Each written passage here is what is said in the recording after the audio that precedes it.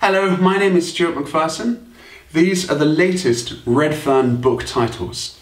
They're called Drosera of the World, and they look at all species of Drosera currently known to science that occur in all countries around the globe. Drosera are sticky-leaved carnivorous plants that have beautiful leaves lined with glistening droplets of glue. They catch prey through their incredible and intricate sticky traps. And these are the first books ever to look at all of the species known.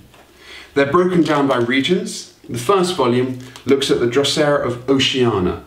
That's mainly Australia and New Zealand.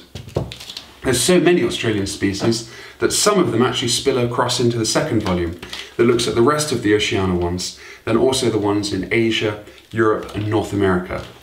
And the last volume looks at the Drosera species of Latin America and Africa. Each species is profiled in a beautiful array of photos. The three volumes together actually have nearly 1,500 pages and nearly 2,000 images.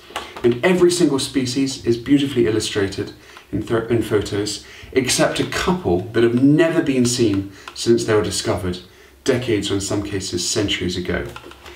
The flower morphology, the flower colours, and the leaf structures and colour forms of all of the known species are documented in this way.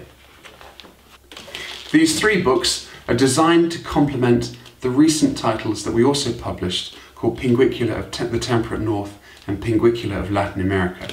The books are in exactly the same size and format and so will fit neatly on a bookshelf.